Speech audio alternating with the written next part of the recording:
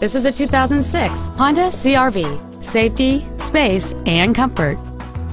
It has a 2.4-liter four-cylinder engine, a four-speed automatic transmission, and four-wheel drive.